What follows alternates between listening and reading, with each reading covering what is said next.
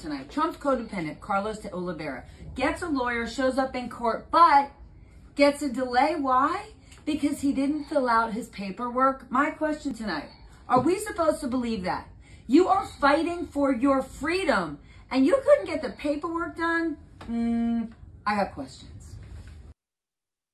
All right, you want a question? I got a question tonight. Trump's co-defendant, Carlos de Oliveira, gets a lawyer, shows up in court, but gets a delay. Why?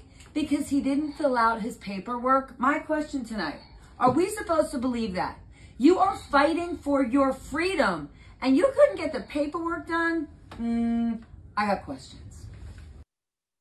All right, you want a question? I got a question tonight. Trump's co-defendant, Carlos de Oliveira, gets a lawyer, shows up in court, but gets a delay. Why?